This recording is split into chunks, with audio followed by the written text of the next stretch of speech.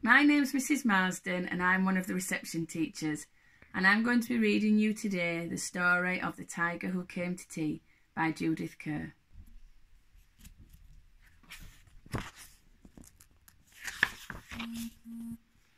Once there was a little girl called Sophie and she was having tea with her mummy in the kitchen.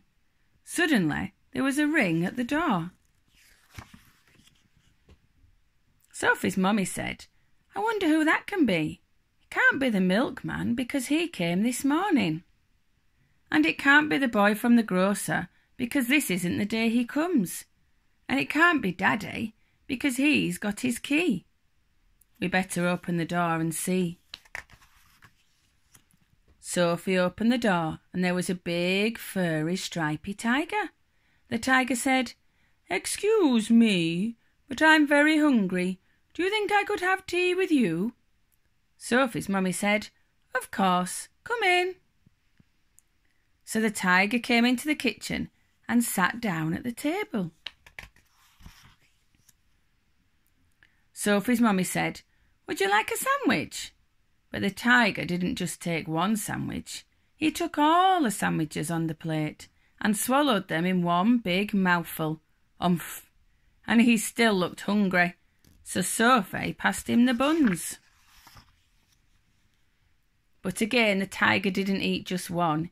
He ate all the buns on the dish, and then he ate all the biscuits and all the cake until there was nothing left to eat on the table. So Sophie's mummy said, Would you like a drink? And the tiger drank all the milk in the milk jug and all the tea in the teapot. And then he looked round the kitchen to see what else he could find. He ate all the supper that was cooking in the saucepans and all the food in the fridge. And all the packets and tins in the cupboard. And he drank all the milk and all the orange juice and all Daddy's beer and all the water in the tap. Then he said, Thank you for my nice tea. I think I better go now. And he went. Sophie's mummy said, I don't know what to do. I've got nothing left for Daddy's supper, and the tiger has eaten it all. And Sophie found she couldn't have her bath because the tiger had drunk all the water in the tap.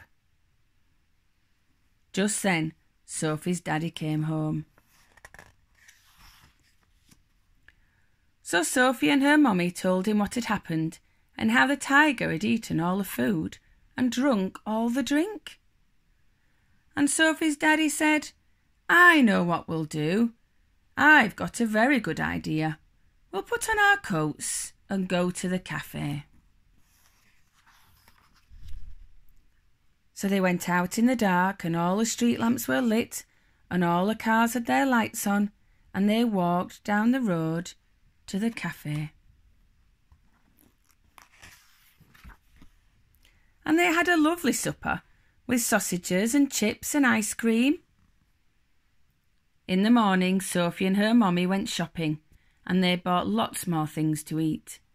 And they also bought a very big tin of tiger food, in case a tiger should come for tea again. But he never did. Goodbye, goodbye, goodbye.